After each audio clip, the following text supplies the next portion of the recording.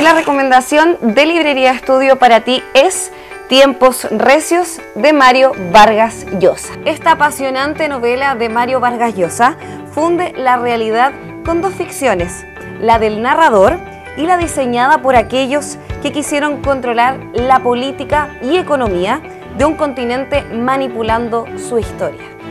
Guatemala 1954.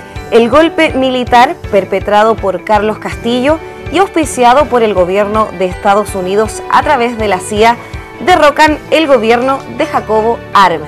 Tiempos Recios es una historia de conspiraciones internacionales e intereses encontrados en los años de la Guerra Fría, cuyos ecos resuenan hasta la actualidad. Y esta fue la recomendación de Librería Estudio para ti. Tiempos Recios de Mario Vargas Llosa, Premio Nobel de Literatura 2010.